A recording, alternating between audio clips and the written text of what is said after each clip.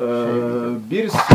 YouTube'daki bir silah kanalı olarak çok üzücü, yıkıcı bir olay olan Yeni Zelanda olayı hakkında konuştuğumuz, kendi görüşlerimizi belirttiğimiz ve aslında 5 yıldır neden YouTube'dayız? Bu amaç uğruna da verilmiş iğrenç bir örnek ama amaç için güzel bir örnek olan bir olay üzerine konuşacağız. Videoyu izleyeceğiz ve bununla ilgili sizden bahsedeceğiz. O videoda izlediğiniz silahlara benzer iki silah da burada. Biri bu. AR. Bu da ilk kadrajda gördüğünüz silah. Sadece üzerinde red dot yok. Yani bunu söküp buna taktığımız zaman aynısı oluyor. Ya da holo yok. Holo muydu adamdaki? Holo büyük olası. Ol. Yani ne fark eder? Videoyu izleyelim. Ee, bu harbiden yıkıcı bir olay. Roleplay yapmıyorum. Gerçekten videoya girmeden önce filan da biz bayağı bir şey dedik. Çeksek mi lan, çekmesek mi lan filan tarzında. Bence gerekmiş ya. Ya gerekli ama bunu ben çekmek istemiyorum. Keşke başkası çekse. Daha güzel şekilde dillendirse. Ya ama bunun çekilmesi gerekiyor. Mevzu şu. Bilinçli silahlanmanın öneminden bahsedeceğiz. Bu videoda baştan söylemiş olalım. Videoyu izleyip yorumumuzu belirteceğiz. Olabilecek şeyleri ve olan şeyi kendi görüşümüzden aktaracağız. Yani bu videoyu bir haber ajansının veya bir haber kanalının şeyi olarak nitelendirmeyin. Size gidip aslında buydu, bu adamın çocukluğu şuydu, bu yüzden bunu bunu yaptı gibisinden bir video değil yani bu. Videoda kullanılan silahlar ne olsaydı nasıl şeyler olabilirdi? Oradaki insanlar kendini nasıl savunabilirdi? Bununla ilgili bizlerin nasıl önlemler almamız gerektiği vesaire vesaire. Bu arada soran arkadaşlara e, merak edenler var çünkü en çok konuşulan mevzu bu şu an. Yok bu adam Türkiye'ye gelip Türkiye'de katliam yapılacakmış. Adam yakalanıp öldürüldü. Bunu da buna söyleyelim. Şimdi ben videoyu bir taraftan izleyeceğim. Ee, çoğunu koyacağız ama öldürülen yerlerin hepsini flu şekilde koy. Yani bu telif melif yememizden kayıtlı bir durum değil. Telifi siklemeyen bir kanal olduğumuzu gayet çok iyi net biliyorsunuz. Hani bunu söylemenin bir şeyi var mı bilmiyorum ama Yani giren girmiş zaten anasını satayım. etik de değil zaten o görüntülerin gösteriyor. Hatta şöyle söyleyeyim bu videonun para kazanması para kazanması da kapalı. Açık söyleyeyim. Bir yorumu görüşü olan varsa tabii aşağıdan bize belli edebilir. Videoya bakalım. Sen de aynı şekilde yansıtırsın Tamam. kameraya. Sesten zaten şey yaparsın. Bakalım. Evet ilk olarak şu Alican az önce göstermiş senin elindeki silahla. Bak bir shotgunla girdi adam.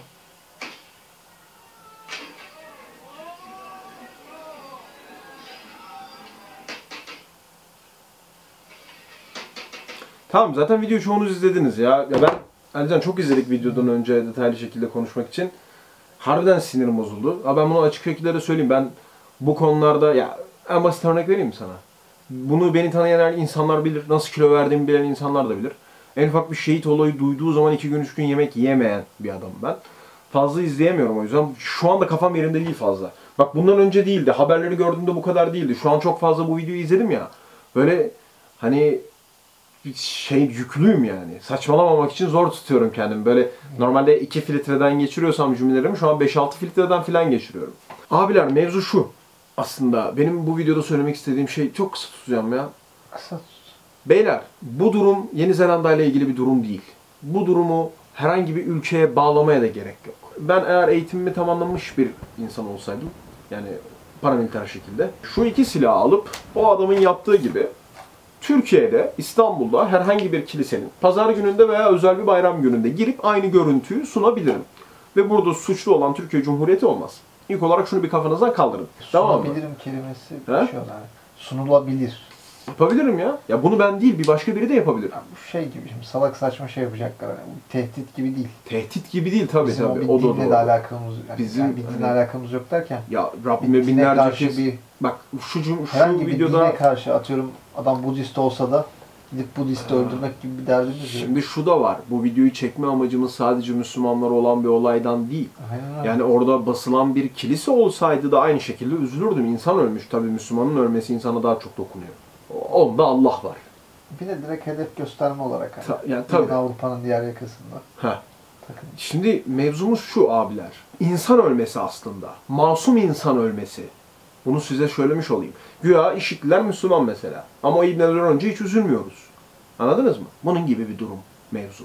Mevzu masumun ölmesi. Hani tamamen Müslüman Hristiyan mevzu değil. Bu arada İslamiyetle olan bağımızı e, ölçmezsiniz diye düşünüyorum. Çünkü ben de gayet ilmi tahsilatını gayet iyi şekilde yapmış. Çoğu ayeti, hadisi ezbere bilen fıkıh kitaplarını bitirmiş, Arapçada Emsile Bina Maksud Avamil gibi kitapları okuyup bitirmiş bir insanım.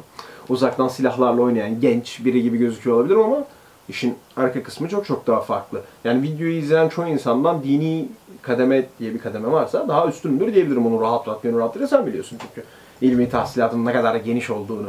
Öyle bir yanlış anlaşılma olmasın. Ha bunların zaten Müslümanlıkla bağı az. Bu yobazlar, bu yobaz değil ne diyorlar?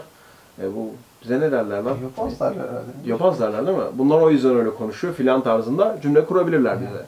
Yok yani. Bu videoyu toparlamam biraz zor olacak. Benim kafam çok karışık çünkü. Ben size en basitinden bir örnek veriyorum. Yeni Zelanda'da yaşandı mi bu olay? Ve camideki hiç kimse kendini savunamadı ne yazık ki. Eğer bunun yerine bu olayı Trabzon'da bir cuma namazına döndürün veya Rize'de veya Karadeniz'in herhangi bir ilçesinde herhangi bir cuma namazında bu orospu çocuğunun aynı şeyi yapmayı düşün, yapmaya çalıştığını düşün. Maksimum 10 kişi indirir. O adamı orada mermi manyağı yaparlar. Hani hep biz silah severler olarak ne deriz? Karadeniz'de çok fazla ruhsatsız silah var. Bunun önüne geçirme... Yo. Ya madem geçemiyorsunuz önüne adamlar kendilerini savunuyor abi. Gayet güzel şekillendi. Bunu bir düşünsene ya Trabzon'da bir cuma namazında yapıldığını düşün. Adamı var ya mermi manyağı En yaparlar. azından e, camiden çıkarmazlar. Ya camiden ne cam onu zor çıkarırlar camiden. Adam 60 kiloysa 90 kilo olarak çıkar içindeki mermi çekirdekleriyle birlikte. Yani, yani adam atıyorum hani kaçak silah taşısa bile işte eğitimiydi, alışkanlığıydı. Bir kere hani sese duyarlılığı atıyorum sürekli Yani. tüfek kullanan bir insanın 556 bir tüfeğin patlama sesine işte çekirdek sesine daha az refleks Ya gösteriyor. orada olan olay şu, insanların korkmasının sebebi şu, bir silaha olan uzaklık, kendini savunamama. İki, hiçbirinin hiçbir şekilde taktiksel bir eğitiminin olmaması. Orada mesela adamın üstüne koşup adama çarpan adam kaçmak yerine onunla boğuşmayı tercih etseydi çoğu kişinin hayatını kurtarırdı.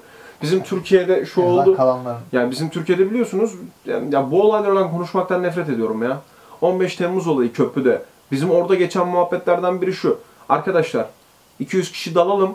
Öndeki 100 kişi ölür ama biz geri kalanını indiririz. Bak Türk mantığı bu. Biz indiririz. Vatanı kurtarırız. Bizde bu mantık var. Ama orada nedense insanlar hem silah olan hani alışkanlık yok tamam mı silaha karşı? Hani ya şimdi Alican şöyle bir durum var. Biz de Terminator değiliz amına koyayım. Tabii. Bana karşı silah sıktıklarında ben belki altıma sıçarım. Allah var.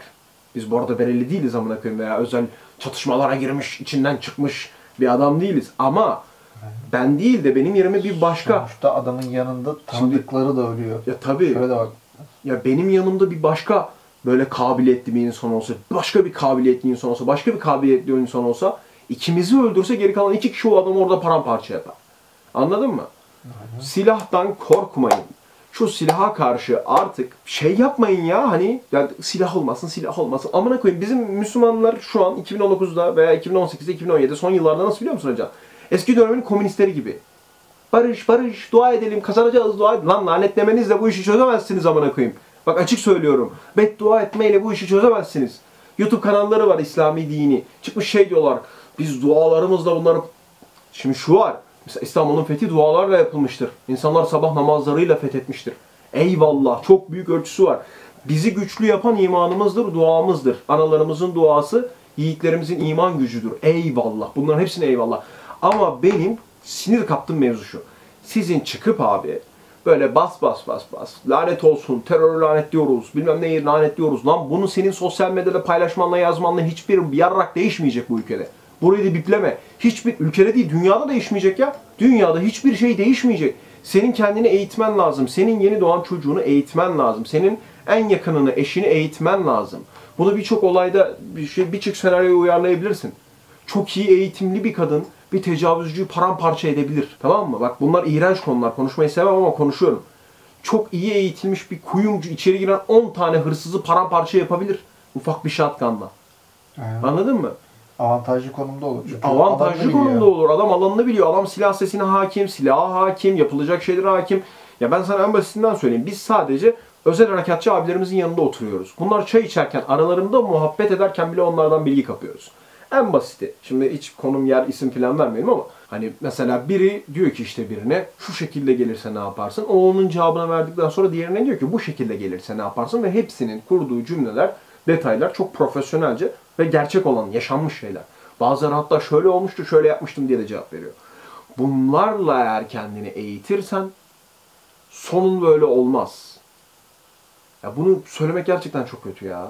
Gerçekten çok kötü ya. Kötü. Hani bizim şu an Türkiye nasıl biliyor musun Alican? Ya bir de şu daha Ya- kötü aslında. Atıyorum sen o elindeki tabancanın marka modelini veremezken adam 556, işte 762 shotgun silahların altısını birden bir arabaya doldurup arabayla şehrin içinde gezip Yani. o cami de böyle sıradan bir cami değil çünkü bayağı dolu bir camiydi. Bir caminin yanına gidip atıyorum burada Sultanahmet'e gitmek gibi. Yani caminin Yani. ismini bilmiyorum Ya ama bir de şu var mesela. Bak bizim Türkiye o konuda çok iyi. Mesela İzlanda'nın sıkıntılarından biri o. Eğer siz silah yasallaştırırsanız arkadaşlar hiçbir insan gidip bir insana zarar vermez. Bak ben sana basitinden bir şey söyleyeyim. Şu silah benim ruhsatlı silahım. Bu silah benim ruhsatlı silahım. Adıma ruhsatlı. Silahlarım. Hayatta mal gibi gidip bunlarla birine vurmam. Çünkü niye? İçinden geçerler. beni anında bulurlar. Bokumdan bulurlar beni. Açık söyleyeyim yani. Ve senin vurmana da gerek yok. ha? Burada bir başkası vursa burada da aynı. birini mesela atıyorum bir e, herhangi bir kısa namlulu tüfekle birine ateş ettikleri zaman Yani. tamam hani onu anlarlar bir şekilde ama sana da gelip sorarlar. Yani o da var. Ya Yani kayıt altına çok karışık konuştuk ama anlayabiliyorsunuzdur. Yani ben bu Yani videoyu toparlayabildiğim size şöyle söyleyeyim. ama Siz izlediğinizde videonuzda ufak bir ufak bir ukde olmuştur değil mi içte, içinizde? Yani en azından insansanız ufak bir ukde olmuştur. Düşünün ben bunu en az 10 kere izledim. Ve hani kafamda artık çok farklı şeyler dönüyor. Hani gerçekten çok farklı şeyler dönüyor. Hani insanda böyle bir şey oluyor. Bir saldırganlık duygusu oluyor ama saldıracak kimseyi bulamıyorsun. Bu durumu şey gibi düşünebilirsin. 15 Temmuz durumu. Hani silahla çıkamazsın dışarı askere mi sıkacaksın amına koyayım? Anladın mı? Bu Bunun gibi bir durum yani. Bir şey, ya elinden gelecek bir şey yok. Sadece burada çıkıp bunu söyleyebiliriz. Bunu söylediğimiz için linç yiyebiliriz. Ben sana söyleyeyim. Ama arkadaşlar kendinizi geliştirmeniz lazım. Bu her şeyle ilgili. Mesela ilk yardım eğitimi almanız lazım herhangi bir deprem durumuna karşı. Sadece silahlı bir saldırgana karşı değil. Hayatta başınıza gelebilecek her şeye karşı. Doğada hayatta kalmayı öğrenmeniz lazım. Başınıza gelebilir. Kaybolabilirsiniz. Bakmayın çok yaşanan olaylardan Aynen. biri de kalp krizi Tabii. ve yani kalp masajını ya kalp krizini herkes Yani. bilir ama kalp masajını bilen kişi sayısı Aynen sayılıdır. öyle. Çoğu kişi de yanlış biliyormuş bana söylediklerine muhtemelen göre. çok işte yanlış Çoğu kişi de yanlış kaburgasını kırma yani. Olayları olsun. Böyle durumlar var anlayacağınız ya. Hani ben fazla söyleyecek bir şey bulamıyorum. Ne yapılması lazım? yani bizim ülkede bu işin önünün açılması lazım. İnsanlar bilinçli şekilde, bak bunu izleyen insanlar yanlış da anlayabilir. Her önüne gelenin eline silah verin demiyoruz. İnsanlar sıkı eğitimlerden geçsin. Ehliyet gibi düşün. Ehliyet gibi aynen ama Herkes bir yılda değil, ya bir ama. yılda değil ya, üç yılda, dört yılda, beş yılda alsın adam ya. Anladın En mı? azından bir şekilde bir yerden başlaması. Tabii. Ve hani şöyle olsun mesela adam yasa dışı bir şey mi yaptı? Birini mi tehdit etti tabancasıyla? 2 yıl, 3 yıl hapsi bırak amına koyayım. Koy içeri 30 yıl hapis yatsın. Bak birine kimse tehdit ediyor mu? Anladın mı? 30 yıl yatıramayabilir de. İdam et amına koyayım. Ya Ne? tüfeği içine sok adamı. Ne? Ne? Aynen abi. Öyle değil de hani büyük bir maddi yaptırım artı her şeyin el konulması. E, Tabii adam mesela bütün var varlığına el bir koy. can. Abi bir Bütün tane sigara versene ya. Şey gibi ya insan ehliyeti varken kaza yaptığında bile aşırı derecede korkuyor. Ehliyetimi alırlar mı, onu yaparlar mı? Büyük olsun kısa bir video olacak ve konuştuğumuz çoğu yeri kesmiş olacağız ama şunu unutmayın abi. Bilinçli şekilde silahlanmak önemlidir. Silah kaldıramazsın. Silahsızlık diye bir şey yok. Bunu herkese söylüyorum bak açık açık. Ha şunu da söylemiyorum. Ülkeyi silahla geliştirirsin. Dünyayı silahla kurtarırsın. Hayır. Ülkeni kaleminle, sanatınla, müziğinle geliştirirsin. Anladın mı? Ne kadar iyi mimarların varsa, ne kadar iyi sanatçıların varsa, ne kadar iyi bilim adamların varsa ülkeni böyle geliştirirsin. Ülkeni böyle ileriye taşarsın. Silahsız savaşları bu şekilde kazanırsın. Ki dünya şu an silahsız savaş içinde zaten. Ekonomik savaşlar içerisinde. Ama savunma bölümüne geldiğin zaman aha buna ihtiyaç var. Çünkü niye abi? Şöyle anlatayım ben size. Kötülerin Şu silahı an var. kötülerin silahı var. Bu kadar basit bence hiç Aynen. uzatmadan. Mesela çok basit, çok güzel cümleler var. Mesela bizim poligonlar boş, boşluk olsun diye post olarak paylaşıyorlar. Önemli olan silahın kimin elindedir? Tetiği çeken insandır. Silah kendi kendine patlamaz. Bak bunlar ön- önemli cümleler aslında. Felsefi cümleler bir bakıma da. Gerçekten öyle. Ya öyle az. Ya bak arkadaşlar bu gerçekten önemli. Bilinçli silahlanmanın Türkiye'de bireysel değil bilinçli silahlanmanın Türkiye'de gelişmesi önemli. Nedenini ben sen basitinden kolay kolay basit basit anlatayım. Bir şeyi ne kadar yasaklarsan onun kaçağı o kadar artar. Sigaraya ne kadar vergi verirsen kaçak sigara o kadar artar. Çünkü kaçak sigara talebi artar. Şimdi tüfeğe veya tabancaya ne kadar fazla yaptırıp uygularsan sen kaçak silah satan adam o kadar fazla kaçak silah satıyor. Bak biz yıllardır bunu anlatmaya çalışıyoruz. Kimseye anlatamıyoruz ama. Gerçekten kimseye anlatamıyoruz. Ya bu problem. Bak bu problem insanlara eğitim verilmesi şart Alican. Bakın bu olay en güzel örneği, yani en güzel örneği diyemiyorum. En orospu çocuğuca örneği. Anladınız mı? Bu bariz bir örnek ya. Yani net bir örnek anladın mı? Oradaki adamların ikisinde ya da üçünde silah olsaydı hani o şarjör dövüştürüyor ya orospu çocuğu. O anda ölmeyenlerden biri belinden tabanca çıkarıp şöyle bekleseydi ya adam kullanmayı bilmesin şöyle beklesin ya tek mermi ya da iki mermi bam bam bam o adamı vursa ki eğitim almış bir adam onun içinden geçer, tabancayı parçalar, götünden sokar, içinde tekrar toplar. Hani bir iki ay, üç ay eğitim almış bir adam. Şunu yanlış anlamayın bana. Burada ya askere giden arkadaşlar da izleyecekler videoyu. Askerde siz silah kullanmayı falan öğrenmiyorsunuz. Elinize G3 veya MP5 veya hadi Kanas 3 tane falan silah görüyorsunuz. Bu silahları kullanarak bir şeyler öğreniyor. Mesela avcılar. Bak bakma avcılar çok iyi biliyor musun bu durumlar için. Ama adam bunu hani camiye götürmez cuma namazında. Mesela bir avcı çok iyi bunu kullanıyor bakma. Ya şöyle avcının her şeyi geçtim en büyük avantajı sesten korkmaması. Yani tabi. Bu da büyük avantaj bakma yani. Ya şimdi gidip Mantıklı düşünmeyi sağlar. şimdi gidip ülkede avcılığı geliştirin demeyeceğim. Ben avcı değilim. Avcılığı da sevmiyorum. Hani avcılığa karşı değilim ama avcılığı sevmiyorum şahsi olarak. Doğru yapılması. Tamam mı? Ya ben de doğru yapılması taraftarıyım. Ya bu çok kötü bir olay ya gerçekten hani üzerine konuşulamıyor bile olayın ya. Ya benim stres yapınca çoğu insanda şey vardır. Midesine kramp girer. Bende o var şu an mesela. Midemde kramp var. Yanlış bir cümle kurmaktan ve yanlış anlaşılmaktan korkuyorum şu an. Hani insanlara biz istediğimizi aktaramayacağız diye korkuyorum. Senin Instagram hikayeye New Zelanda işte bilmem ne olacak, bilmem ne olacak diye attığın paylaşımın hiçbir anlam ve önemi yok. Hiçbir anlam ve önemi yok. Anladın mı? Hiçbir şeyi değiştirmiyorsun. Hiçbir şeyi değiştirmiyorsun. Bak bu açık net. Anladın? Senin bir şeyler yapman lazım. Açık Herkes görüyor zaten. yani açık kitap okuman lazım. Senin şunu kullanmayı bilmen lazım. Senin nerede? Bir tane bende yok ama şu an yaşım henüz şey yapmadığı için şunlardan birine ihtiyacım var. Tabii bunların gerçeğine. Ama gerçekten. Yani e, taşıma ruhsatlı şekilde tabii ki de. Ya bizim ülkede de öyle garip bir şey var. Taşıma ruhsatlı tabanca vermiyorlar. Zengin sen. Zengin sen alabiliyorsun aynen. Sanmıyorum 30 gün süreceğini. Bak ne olacak biliyor musun? Yarın bu olayı 1000 kişi kullanıyorsa bu sayı 700'e düşecek. Terör lanet. Yeni Zelanda'nın Cumhurbaşkanı mı? Başbakanı mı? Terör lanet. 3 gün sonra Diğer ülkelerden taziye mesajları. 3 gün sonra bu olay sadece sosyal medyada konuşulan bir durum haline gelecek. Çünkü haber kanalları yeterli primini yapmış. Devlet yetkilileri yeterli primini yapmış ve olay kapanmış olacak. Bir hafta sonra sosyal medyada da yavaş yavaş gitmeye başlayacak. Sadece belli başlı gruplar altında muhabbet edilsin, yorum kasılsın diye paylaşmaya devam edecek. Ya bir de şey var, bunun üzerinden prim kasmaya çalışan orospu çocukları var. Nasıl sinir oluyorum biliyor musun? Gerçekten nasıl sinir oluyorum ya.